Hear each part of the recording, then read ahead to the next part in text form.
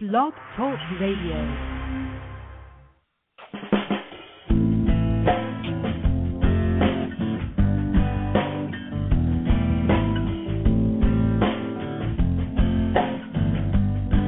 Have you ever wondered why it's happening again? Welcome to Mindshifters Radio with your co-host, the Forgiveness Doctor, Dr. Michael Ryce, and his wife Jeanie. Michael and Jeannie share with you the wisdom of the ancient Aramaic internal process of forgiveness. They offer tools and support five days a week. They will support you in building a solid foundation within yourself to live in pure love. In Aramaic, rakhma. Michael is the author of Why Is This Happening to Me Again? For more information on Michael and Jeannie, please visit www.whyagain.com. And now your co-host, the Forgiveness Doctor, Dr. Michael and Jeanie Ryce. To the brightness within you and the truth that is rooted within me. Hi, and welcome to Mindshifters Radio with the Forgiveness Doctor, Dr. Michael Ryce. Today is Memorial Day Celebration 143, and our call in number is 646 200 4169. We'd love to hear from you. Hi, Michael. Hello, sweetie. Michael. Oh, there he I'm is. here. Can you hear me? Good afternoon, everybody. Glad you're here.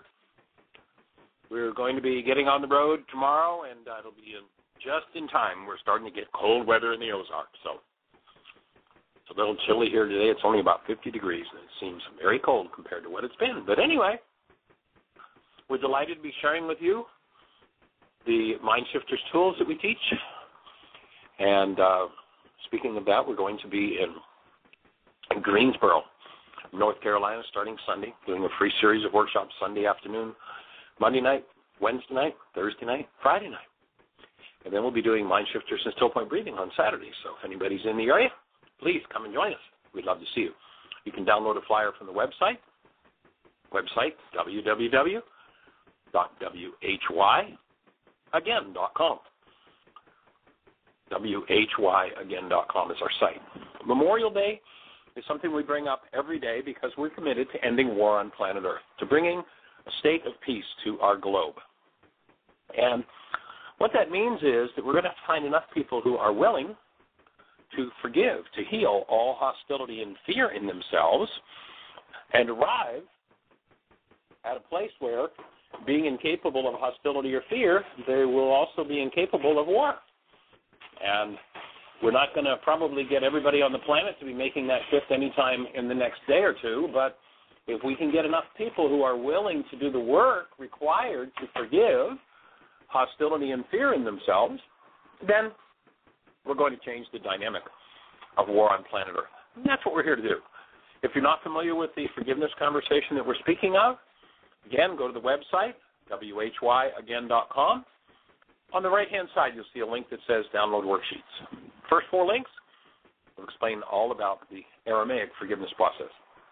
Nothing to do with me letting you off the hook if I'm in some form of hostility or fear, but rather a tool with which I go inside myself and remove my hostility and fear. And that's all explained in the first four links under that uh, download links site or section on the website. And Jeannie, thank you for the awesome task that you've done of taking on that website and making it such an awesome place for people to gather tools and do their work. Do we have uh, Dr. Tim with us today? Is uh, is David with us? David's with us. Tim is not on today. And how is Dr. David? I'm doing very well, Michael. Uh, as you mentioned about the weather shifting for you, it shifted here a little bit, and uh, I understand that up in Chicago they're having some really interesting weather. So, you know, it does it every time at this time of year. Every year it changes like this. So, uh, it has gotten a little bit cooler here, and uh, I'm I'm doing well today.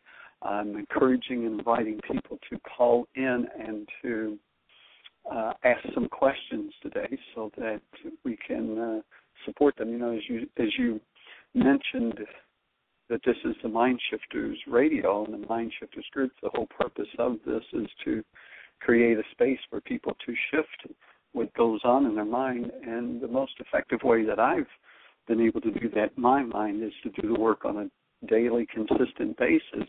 And at the same time, uh, ask some questions and challenge what it is that I believe and what it is that uh, I perceive of, of going on, and through that action, then I have the opportunity in order to shift.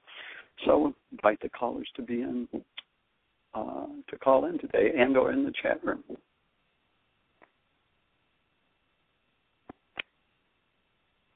Well, we're certainly blessed to have the opportunity to do what we're doing in learning this internal process of forgiveness and extending it to others. Our workshops in uh, in Greensville, Greensboro, pardon me, next week, and then following up, you can check our website. We'll be touring Florida this winter.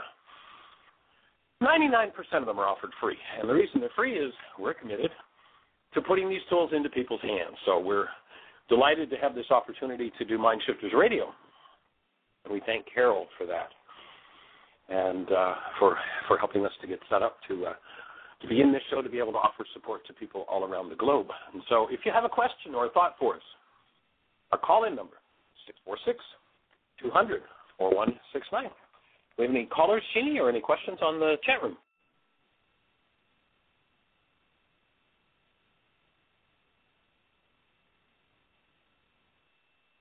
My connection over here is slower. No, there's no hands up and no conversation in the chat room.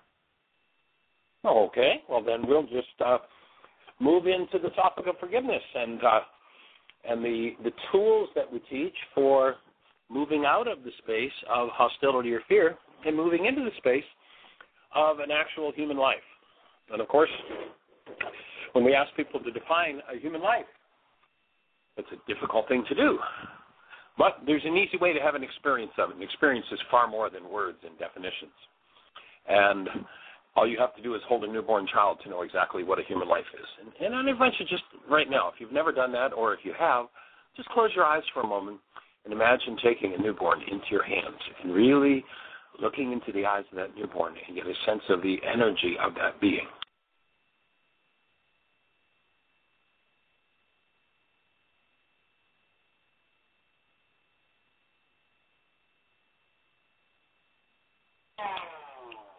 That's a human life. That's what we are here to express and experience, I would offer, in our world, individually and collectively. And that's what we're here to support you in doing. And we don't do it by getting other people around us to change because we have some form of hostility or fear going on in us. We do it by changing the root of the hostility and fear that each of us experiences. And, and of course, the question becomes well, why do we experience it? Well, it's pretty simple. We experience it because it's there. And once you recognize that, once you take responsibility for that, then you have the opportunity to start to change your experience. You have the opportunity to start to change whatever is in you that's unlike the active presence of love. And in so doing, you get to live a human life. And we're able to do that. Literally, we can come to the point where we live in that newborn space 24 7, 365. Of course, there's always somebody that's got something going on that we don't like. And we tend to blame that somebody for our upset. And our offering to you is that your upset hasn't got to do with what somebody else is doing, it's got to do with the content of your own mind. And forgiveness is how you remove that content. And I'm wondering Jeannie, if uh, if um, Miss Sandra is back with us, I think there was probably more conversation for us to have with her from the last couple of days. Is Sandra there? Is has she got her hand up by chance? Nobody has their hand up. And Sandra, if you are on there, I, I don't remember what your phone number is. So if you would press one, it would let me know, and I'll turn you on. We would love to chat with you more about this whole idea of bodies and energy systems and uh, recognizing that we are not a body, we do not have a body. Our mind makes a picture called a body, And it's an overlay that we put on top of something that isn't what we think it is or isn't what it appears to be. And so the idea of this work is to come to the point where we get to experience who we really are, how we really operate, and recognize that relative to our energy systems, there are two qualities of energy there's that which builds it up and that which tears it down. Forgiveness is how you remove. It's the delete key for the tear down energy. It's how you get back to the active state of a human life, the active presence of love. And our work is that of seeing that our relationships are really a gift. Our relationships give us the opportunity, through a law called the law of resonance, to look at everything we carry around with us.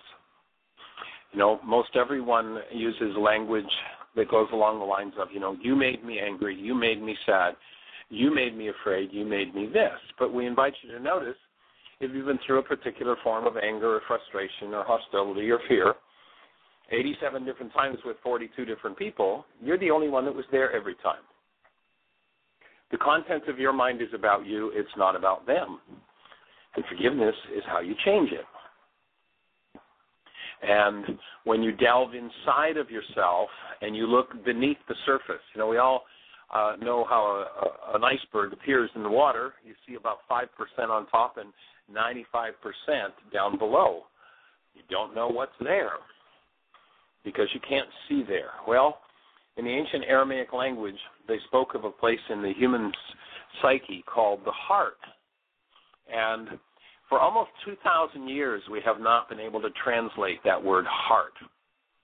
And the word heart, properly translated, we now understand since the unconscious has been rediscovered in the West. And, you know, it's interesting. Freud got a Nobel Prize for discovering the unconscious. In the Aramaic, they knew about it thousands of years ago. So Freud no more discovered it than fly in the air.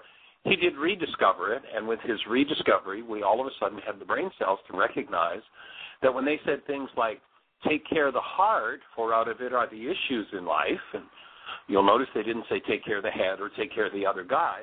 They said take care of the heart. What they were saying was take care what is in your own dissociated or unconscious mind because out of that come the issues that you get to experience in your life. And if you don't like what you're feeling and you don't like what you're experiencing, you look at the 5% that you can see and you say, well, you know, obviously this doesn't have to do with me. It must be somebody else's. When they said in the Aramaic, you must forgive from your heart the wrongs of your brother, that wasn't a bleeding heart statement that you let them off the hook for what you're feeling and you do it sincerely. That's not what that meant in Aramaic. In the Aramaic language, forgive from your heart means you've got to remove from your dissociated mind, from your internal self, that which you are using to build an image called the body of your brother.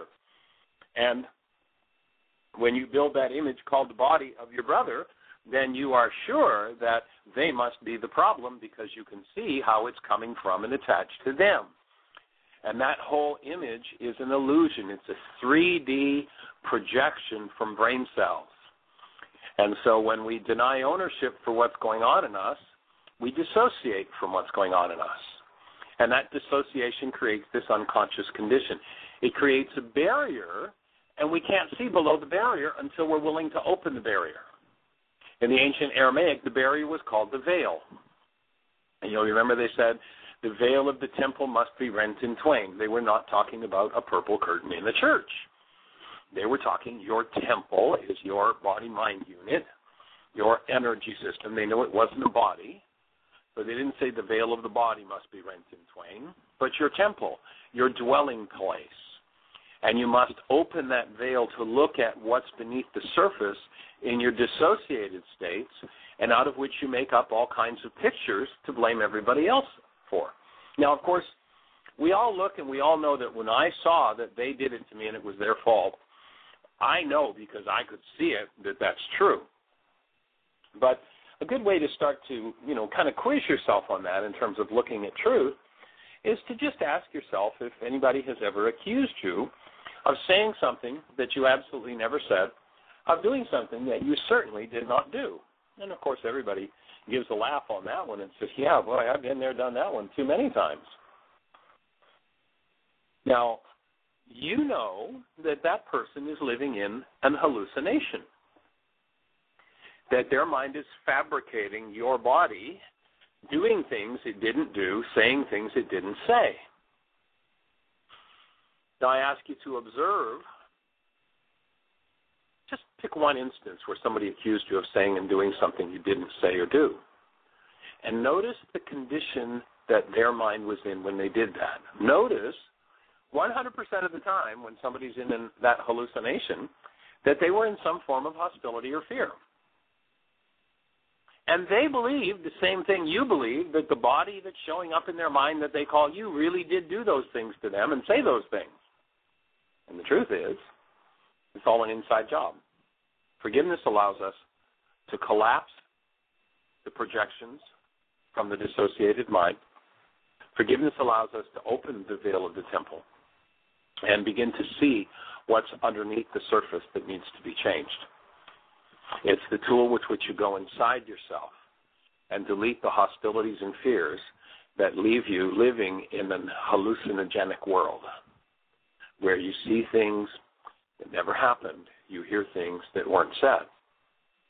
The indicator that you're living in an hallucination is some form of hostility or fear.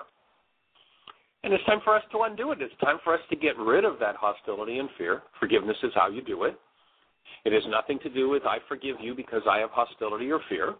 When I let you off the hook for what's going on inside of me, I'm doing a Greek act called pardoning.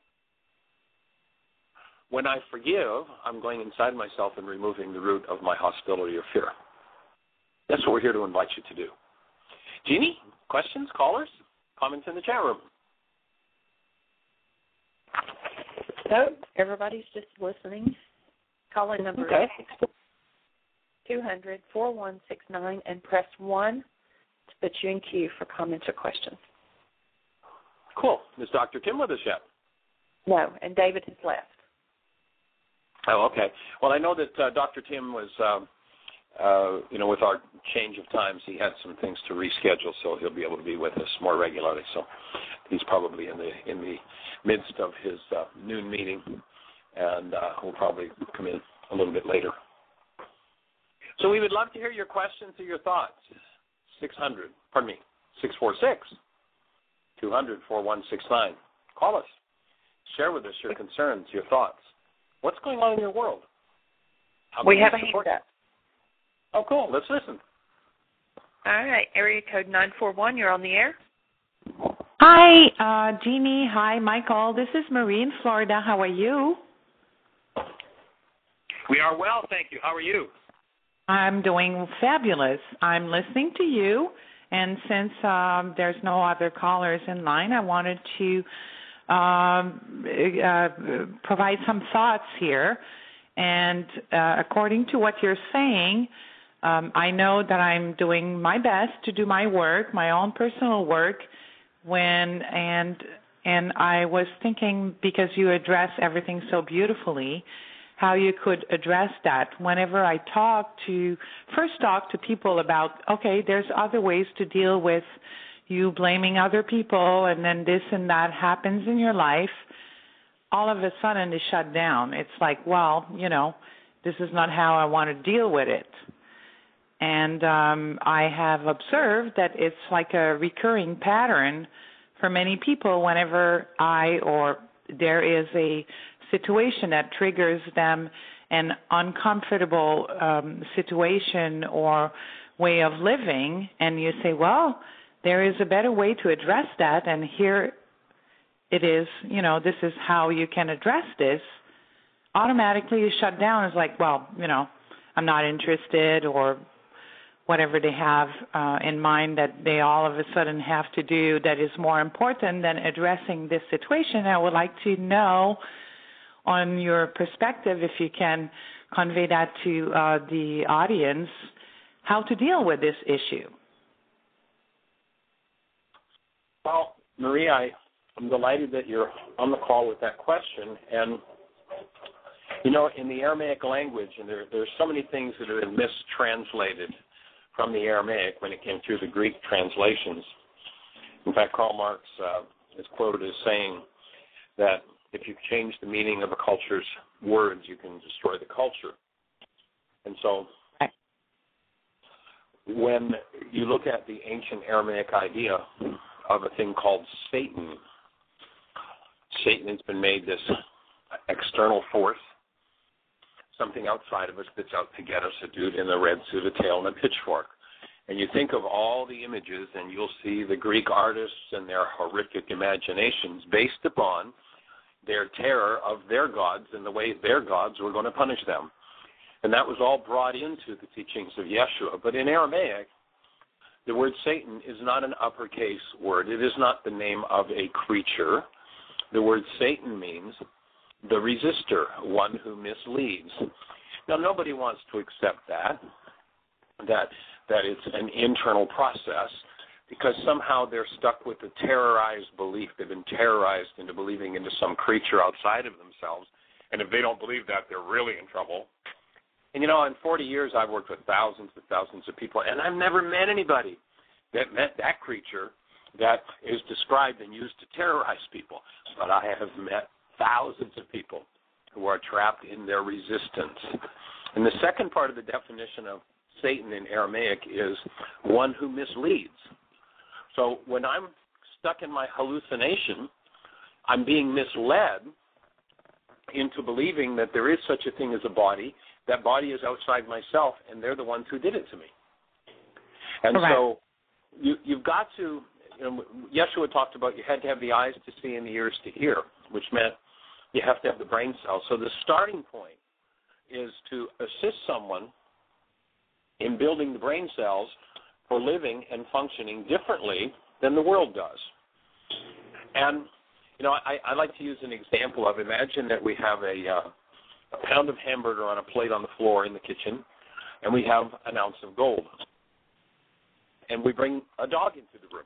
We bring two dogs, we bring ten dogs, we bring a hundred, a thousand dogs. A thousand dogs have a choice. They could go over and pick up the ounce of gold, or they could go over and start chewing on the hamburger. Yes. Now, you'll notice that of the thousand dogs that come in the room, there will not be one that will go over and pick up the ounce of gold off of the plate. Why not? Because they don't have the brain cells for recognizing the value of the ounce of gold.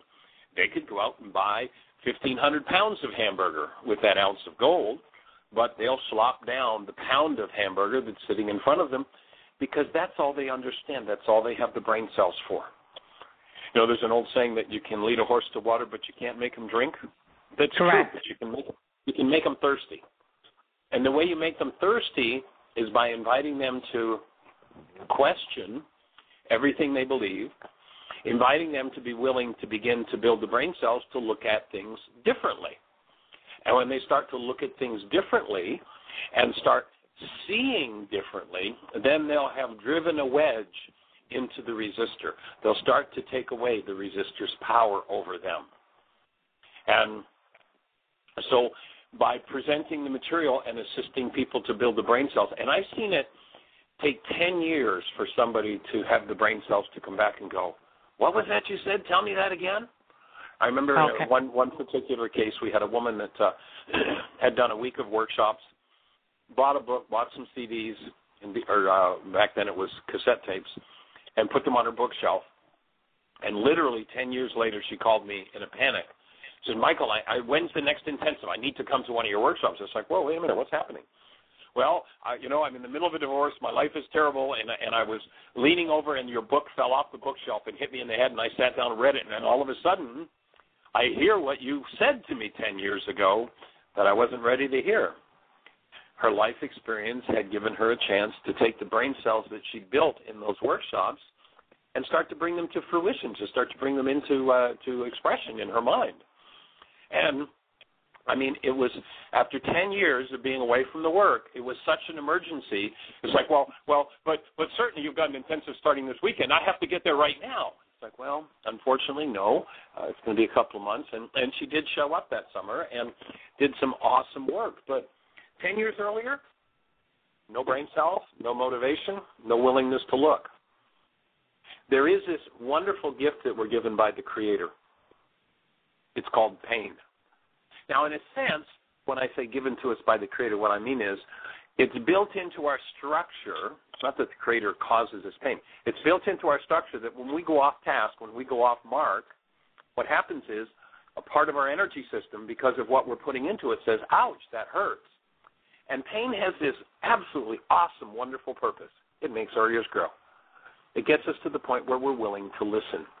And so sometimes you just have to sit back, breathe. I remember when I first started doing this work, you know, everybody I spoke to had to get it. And now I realize it's not my job that everybody get it.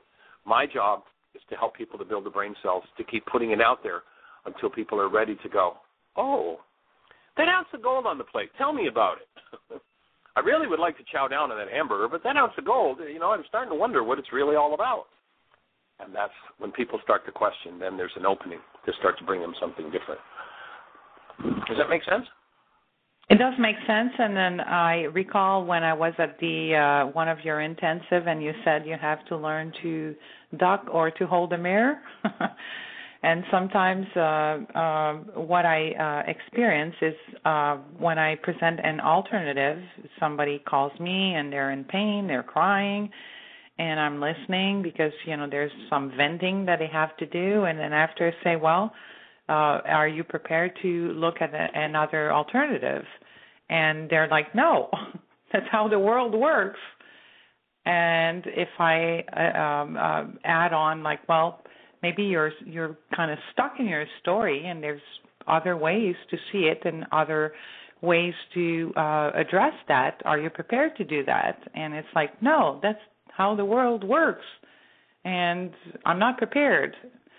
Um and then it brings a little bit of um, not frustration but, but like oh i would so much love to tell you there's so many different ways to address this so that you would not be in so much pain for something that you think is the end of the world but you just addressed it. Is like you know when you're not ready i guess when some people are not ready they're just not ready and then planting the seed and hope that it's going to grow Well, you go back to Yeshua 2,000 years ago, and he says, There are so many things I would say to you, but you can't hear them yet. People don't have that the brain is cells. so true And they can't hear them before they build the brain cells. And part of the challenge in that is that there are so many things in most people that go against them having the brain cells. We've been brainwashed with so much false information that that adds another layer and another level of difficulty to the process because we've been taught things that simply aren't true.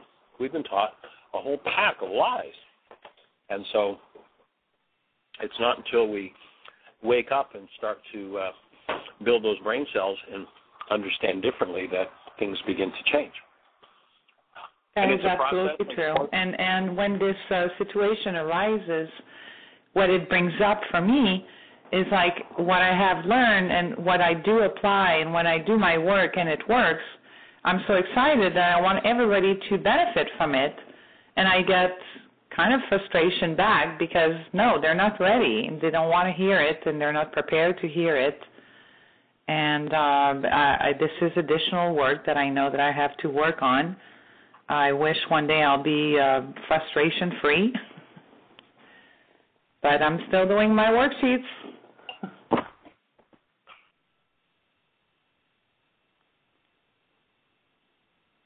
Well, that's that's what I had to say. So I thank you very much for um, the explanation that you gave, and I hope that it helps other people also to understand that you know there are better alternatives out there.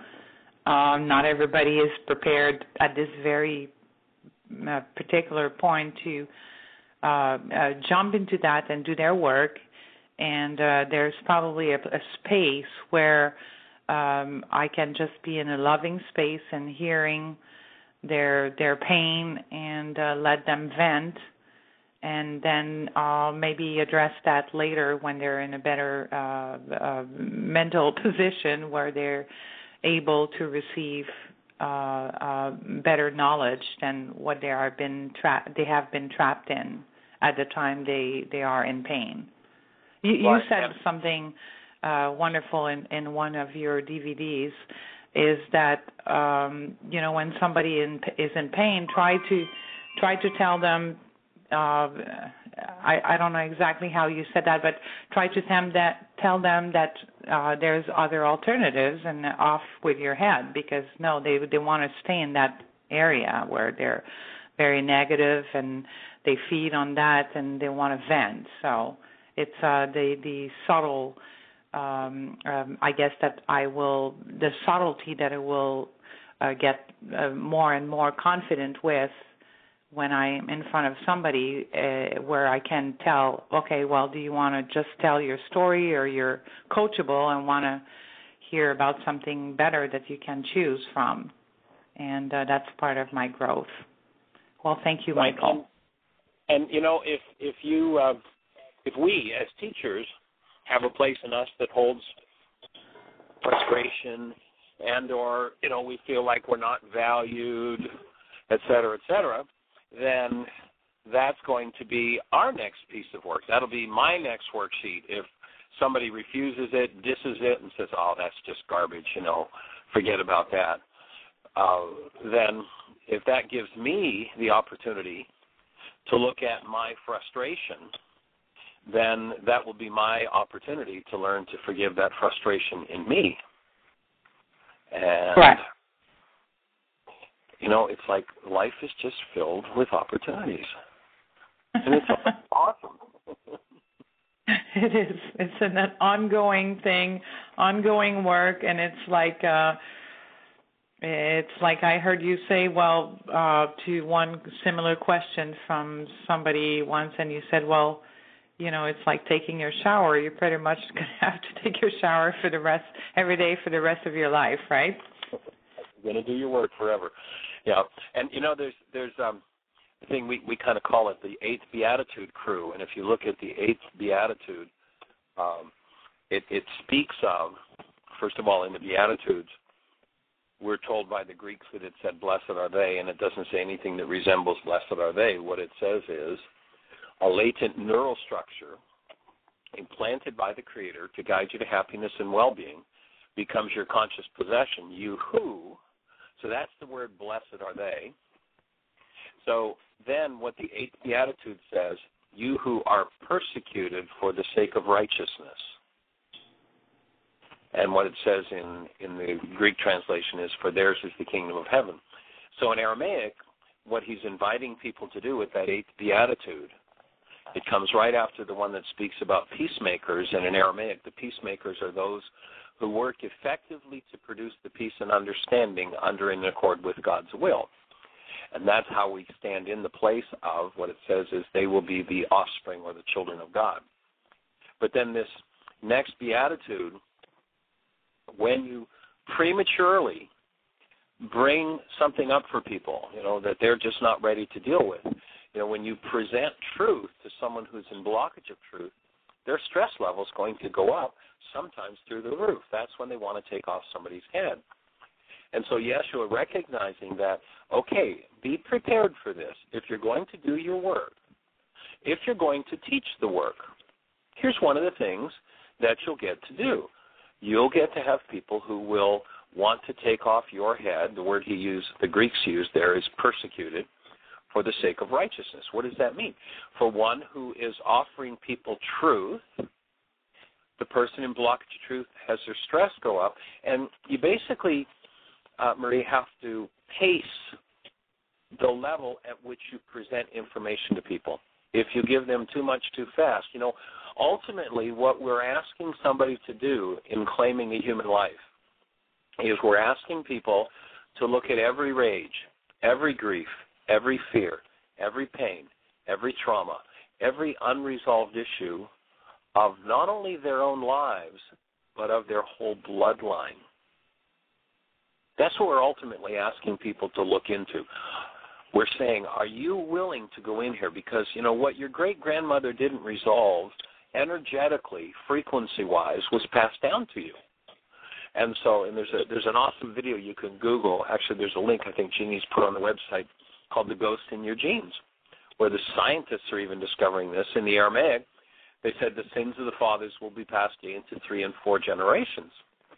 what he's saying there, and that's not some kind of punishment thing. And the word sin is an archery term; it just means that an energy that's off the mark. So when we engage in something, we holographically store that in every cell, including the sperm and the egg. And when we to conceive a child tomorrow, that child would have in its structure every thought we've ever thought, every feeling we've ever felt, every reality we've ever dealt with, not dealt with, pardon me, the ones that have been unresolved. And so what he's saying here is be aware that you're asking people to, to face something, especially someone who's never faced anything before, to face something huge in their lives and in their bloodline. It's a major, major request that we're making of people. And as you pace the way that you present, you know, there'll be some people who'll just be right there and gobble it up. I mean, they're on it and they're going to do it right there on the spot, and other people are going to, as as uh, you said, they want to take your head off.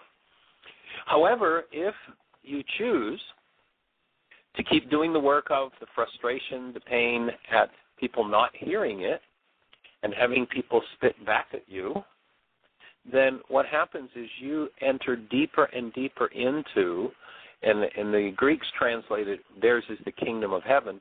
In Aramaic, what it said is, theirs is the community of love. So you enter deeper into the community of love when you present as love the opportunity for people to deal with what they haven't dealt with.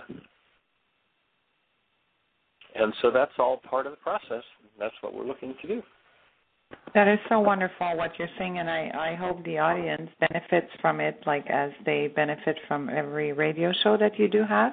And I do certainly do. And when I cannot attend live, I um, I go in, onto into your website and do the replays.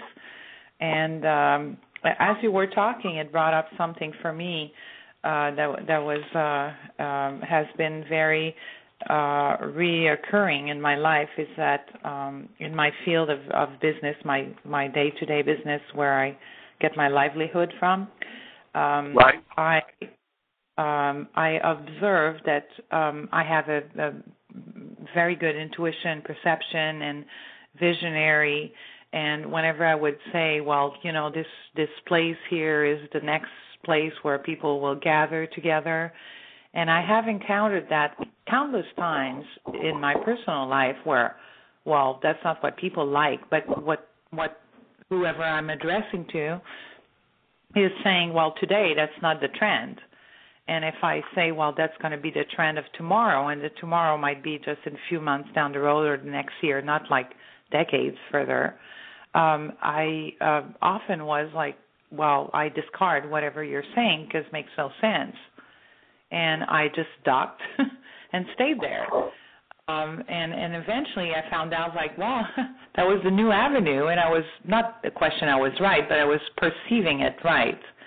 And it ties to what you're saying is like uh when people are not prepared then this is something that i have to work within me is that uh i have to just um uh, face that the the process and they will be prepared later and just uh keep doing what i'm doing and believing in it and uh doing my work and and it unfolds beautifully eventually without adding the uh, condiment of uh, frustration. Well, thank you for that. Awesome. Well, I'm delighted to uh, have you on our team. I am delighted to be on your team. Uh, I am uh, working toward uh, getting um, to be, be presenting in Sarasota, and we'll certainly keep you posted as soon as that unfolds and happens. Thank you so much, Michael. You have a blessed day. All right. I love you. Blessings. Bye bye. Bye. Jeannie, anything happening in the chat room? Any other Uh, questions? nothing. There's nothing going on in the chat room. Uh, David has rejoined us. Did you say David was back? Yes. Couldn't quite hear you. Was that a yes, sweetie? Yes. Oh, cool. Well, David, do you have anything to share with us today? Oh, I do. I was just working at getting my phone off of mute. It was great to hear Marie's voice, and I was reminded that, you know, she's taking her work to a new level. uh, after being at the teacher's training and then doing the intuitive training. And what's so important is the whole idea is keep talking about is to apply it. It's one thing to hear something and get an intellectual understanding and to agree with it and say, "Oh yeah, that makes sense." Until five minutes later, then the mind, you know, it's like, well, "What was it we were talking about? It. How do I put this? How do I apply this in my life?" And I was talking with a friend last night, and uh, she was having this challenge uh, about how do you do that? How do you do that? And I wanted to tell her all of the above. You know, how do you, how do you hold the space of love? How do you be love when other people are in their stuff? As you were talking about the, resistor uh, and the uh, defensiveness with all of it, and that is a challenge, and sometimes is from day to day, hour to hour, and minute to minute. And um, you know, people have heard me talk about for the past several weeks. For me, especially, a lot of times it's from minute to minute, and uh, uh, so it's great to hear Marie and the other folks to to participate in in applying it in the life, and uh, that is just so key. You know, we can't have any knowledge of anything until we have the experience of it. That's my take with it, anyway. Well, it certainly is a process, and it is one that, uh, as each of us chooses to engage, we get to move to deeper and deeper levels of understanding. And people will will speak about, well, you know, gee, I've been doing this for two years, or five years, or ten years. Like, shouldn't I be finished yet? Well, when you recognize that this so-called body-mind unit, this storage device, and the complexity that it has, and what it carries in terms of generational content is a hundred billion times as powerful and intricate as the best supercomputer on the planet. And I don't know about anybody else and how many hours you spent learning to operate your basic laptop, but when it comes to living a human life and living out of the presence of our true being, it's a hundred billion times more complex. And yes, it's a process, and yes, it takes time. And I've been at this work for 40 years, and if you're not willing to dedicate some time, well, maybe this isn't for you. But I've been working for it at it for about 40 years, and I certainly wouldn't start to claim to be finished yet. And people I've had people say, well, gee, if you can't do it in that time period, then it obviously can't be done. It's like, well, you know, if I look relatively, uh, the awesomeness of life today compared to 40 years ago, there's just no comparison. And the complexities and the depth of what needs to be addressed in this learning process of, and and and, and it's not even so much just the learning process but you know, as we've been processing the last couple of weeks, David, the unlearning, the undoing of what never belongs, so that true learning can take place. It's it's huge. It's huge, and so it is a lifetime process for sure.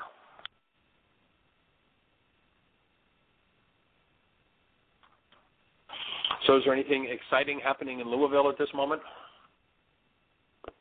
Um, yeah, well, you know what? There's uh, there's I'm actually out doing an errand with uh with my cousin. I just stopped to let him out for a moment. And what's really going on, you know, the the Unity Church that I went to last night, I was able to be with. uh, uh I did Carl's. uh uh is it Carl Thompson? No, the light show that he does that you were talking about. That you said that you had experienced uh-huh. that before and it was really fabulous because there were a lot of people that were there that you know, had joined together for um, raising the level of the vibration. And the show that he put on was just spectacular, just really awesome. And the vibrational energy, you know, and talking about it from that from that vibrational point, it was uh, it was great to be a part of that and to to experience the little the shifts that I you know that are there,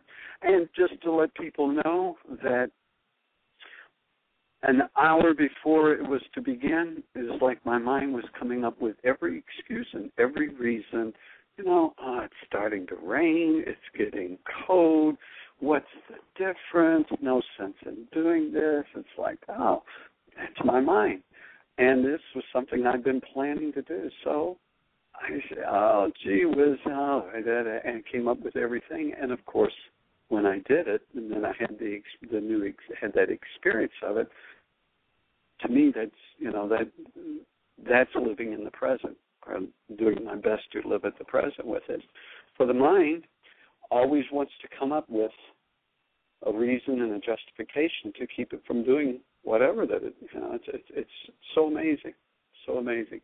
You know, I was uh, thinking about when I was journaling the other day that the the challenge that I have, and as you talk about doing the work for a while with them, it's like there's a um, um,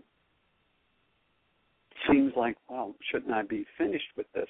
And as I was writing the other day about and making goals and setting goals for that particular day, it occurred to me that one of the reasons I think that that people stop really dreaming, living their dream, or visualizing or desiring and creating things is because as soon as that happens, well then, you know, the things get opened up, all of the files get opened up around all of the incomplete goals and all of those energies that are on it, and it just uh, it just really takes away from the enthusiasm, that level of enthusiasm. So I'm here in Louisville and participating, and uh, nice to nice to hear some feedback from people and some different changes and shifts that they were making. So that's what's going on here in Louisville. I'm sitting here with my cousin Terry.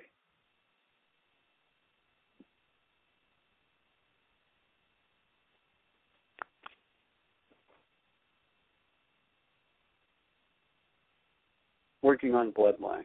Are you there? I may have lost you.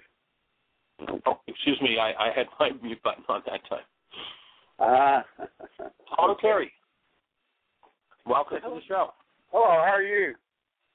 I'm blessed. Doing well. Thank you. Having an awesome day here in the chilly Ozarks. It's cool and uh, and uh, looking like it might rain.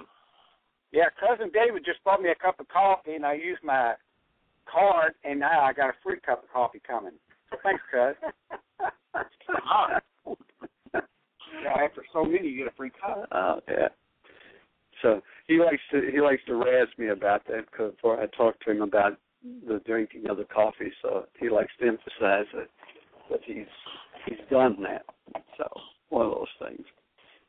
Anyway. Awesome. Well, give me a shout after the show. I got a couple things to share with you. Okay, sounds good.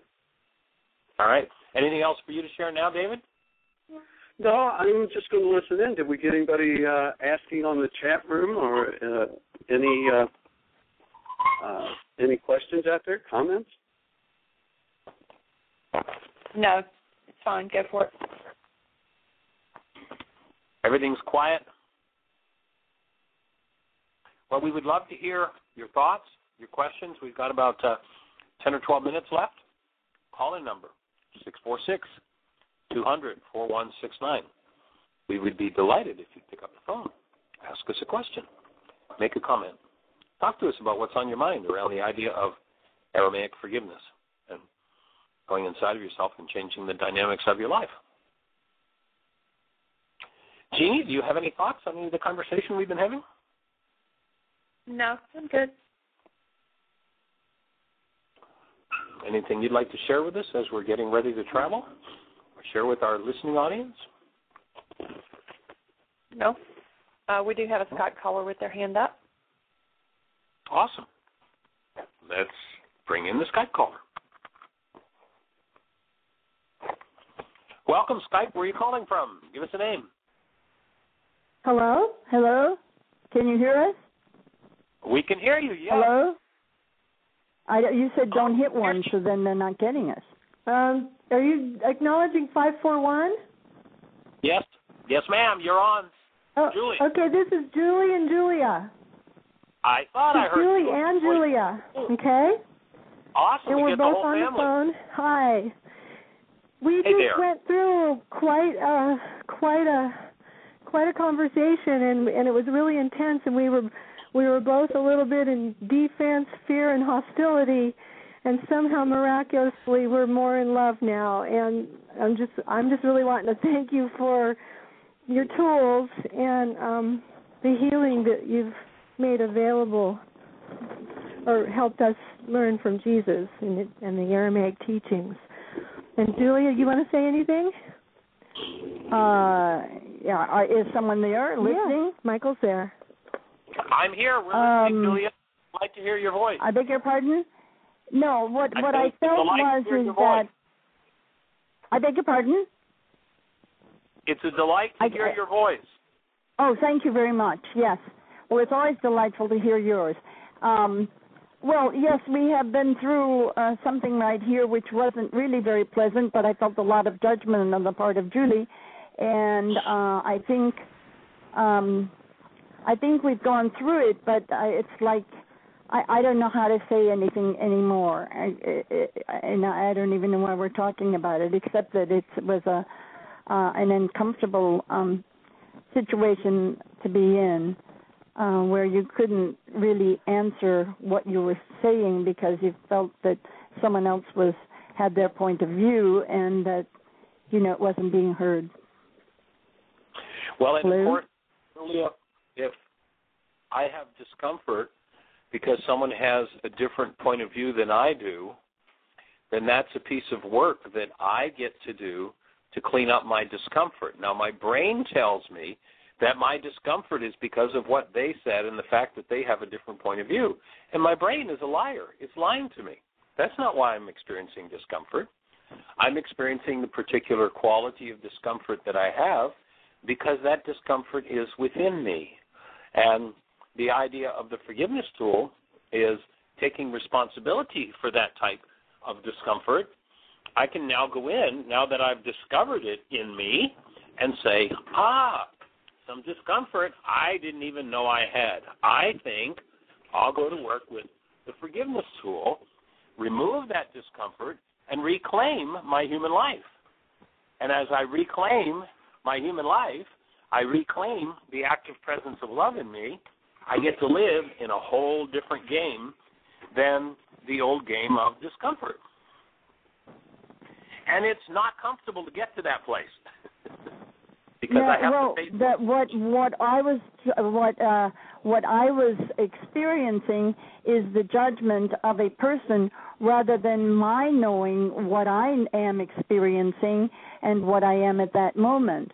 And uh, I don't think that uh, that someone else to judge it unless you have asked for that is, seems appropriate to me because it is I experienced it as a form of attack and yet they Right. think that they're doing it as a favor to you uh, for you to um, see something that I am seeing, but uh, they're not acknowledging that I'm seeing. No. So then notice that you have a reality that because somebody doesn't agree with you, they're attacking you. Now, I'd offer Julia, here's what that means. That would mean that when you don't agree with someone, you're attacking them. But you might not want to be quite so quick to judge that because they don't agree with you, that that is an attack. And to recognize that the discomfort you have around what you perceive to be attack is a disintegrative energy that you could be taking responsibility for and saying, all right, I'm going to get rid of this discomfort in me. I'm going to forgive. I'm going to heal this discomfort in me and go back to experiencing myself in my pristine, brand new newborn state. And then I'm going to come to this person who a moment ago I said was attacking me, and I might see them at that moment in a totally and completely different light. There might be a whole different possibility and a whole different reality available at that moment. Does that make sense? Uh, it does, and I think that it's more or less come to that. But I think that uh, it was it was the um, presence of unasked for seeingness on someone else's part, which then is interpreting for me, which is my experience is very different, and um, and so that it, it was like a judgment, and that Right. didn't feel comfortable. And so um, I guess the end result the end result is to finally say and accept what they're saying is what they're saying and what they're seeing, and it doesn't necessarily is true, but it takes away the sense of being attacked, and uh, I can reclaim uh, more fully who I am. That's I the don't know if that idea. makes sense. Reclaim.